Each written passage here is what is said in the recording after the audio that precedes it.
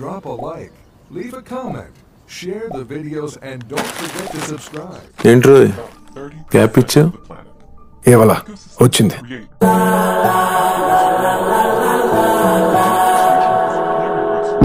massive scale, and at the current rate of destruction, the world's rainforests could completely disappear within a hundred years. Why should we care about deforestation? Together, forestry and agriculture are responsible for 24% of greenhouse gas emissions, making deforestation a significant contributor to climate change. Deforestation impacts the amount of greenhouse gases in the atmosphere in two ways.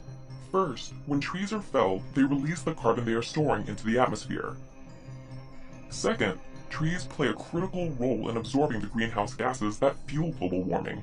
Fewer forests mean larger amounts of greenhouse gases entering the atmosphere, and increased speed and severity of global warming. In addition to helping regulate the Earth's climate, forests provide habitats for over 80% of the plants and animals that live on land. But deforestation destroys these habitats, diminishing biodiversity. Some estimate that 4 to 6,000 rainforest species go extinct each year.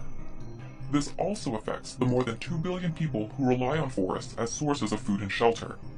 The biggest driver of deforestation is agriculture. Farmers chop down trees in order to plant crops like soybeans, palm trees, and cocoa, or to make room to raise livestock for beef.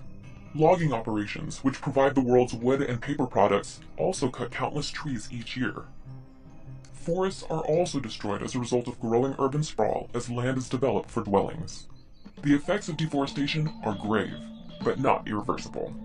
Efforts such as managing forest resources, eliminating clear cutting, and planting new trees to replace those removed are already being made to reduce deforestation's environmental impact on our planet. And while some plant and animal species are gone forever, combating deforestation can help prevent further loss of biodiversity. Please drop a like, leave a comment, share the videos, and don't forget to subscribe.